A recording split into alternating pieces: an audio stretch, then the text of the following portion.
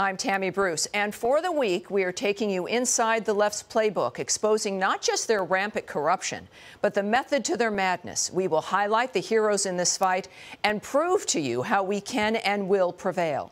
Tonight, the extreme left is unleashing what is now the most dangerous, diabolical, and destructive power grab in modern political history, as the Democrats, along with their enablers in the media, have made clear they are ready, willing, and able to do whatever it takes to grab power, never give up, and inflict on everyday Americans what would be an unprecedented amount of control and coercion over our everyday lives. But ask yourself, how did we get to this point? We're packing the Supreme Court, open borders, D.C. statehood, and even hating and abolishing the police became part of the mainstream political dialogue.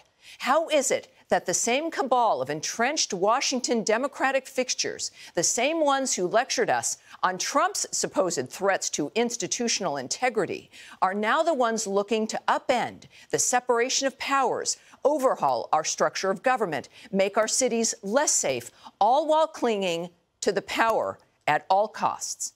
The answer is actually simpler than you think. What the left accuses the rest of us of doing is always exactly what they are doing themselves. No, no, no, don't you dare look at them, of course. Look away at their distractions. They don't care about being called hypocrites. They don't care about being accused of double standards because it's all part of their larger playbook. The end game for them is all about money and power. And that means controlling the narrative. Because if you control the narrative, control the language and definitions, and control the framing, you've won. Remember, they accused President Trump of Russia collusion for four long years, when in reality, it was Hillary Clinton and the DNC who paid Christopher Steele, who then used Russian sources to put together the debunked disinformation dossier. And over the last year, Democratic governors accused Republicans of wanting to kill grandma and grandpa for daring to question the ever evolving proclamations of so called public health bureaucrats all the while, blue state governors like Andrew Cuomo put sick patients into nursing homes, actually killing thousands of grandparents, and got caught trying to cover it up. Ironically, in the end, it was people like Hillary, Cuomo, Biden, Harris, the Lincoln Project, Swalwell, Pelosi, and Waters, among so many others, who were the miscreants and the scoundrels they accused Trump of being. And it was the Hollywood machine that protected sexual predators like Harvey Weinstein for years while lecturing the rest of us about the sins of sexual harassment and the abuse of women, all while spewing woke virtue signal jargon in our direction, seemingly every hour of every day. Did you hear any apologies or admissions of culpability at last, night, last night's Oscars? But of course, you weren't watching, neither was I. But uh, they, they didn't. Instead, they delivered the most woke Oscars ever. They couldn't even control themselves for two minutes. And what was the theme for this group of people who were likely relying on police protection to enjoy their night of backslapping and self reverential congratulations? Hating and bashing police officers. We'll deal with this unacceptable attack on American heroes in detail tonight.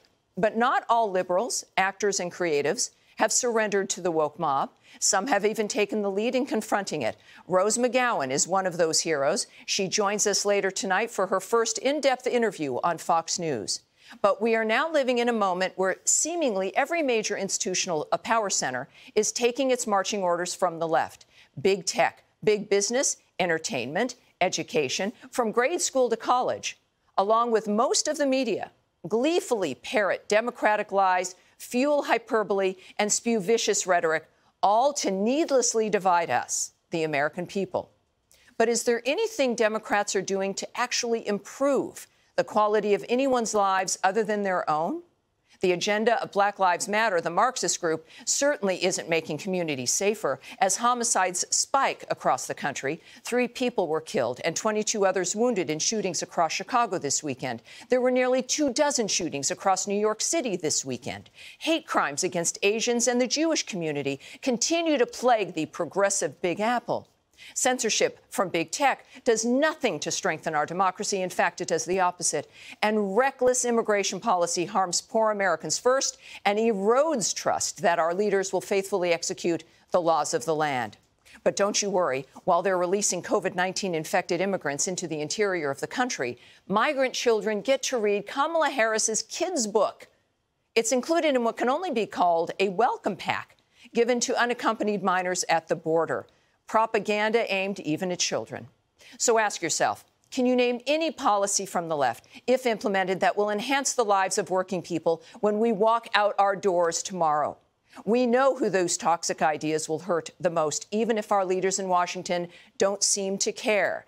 It's why the America First populist agenda is more important than ever, and why it's not enough to simply shout hypocrisy or double standards, because what we are up against is beyond bias, it is beyond just a difference of opinion. There is now a full blown far left propaganda machine that has infiltrated the most powerful institutions on the globe.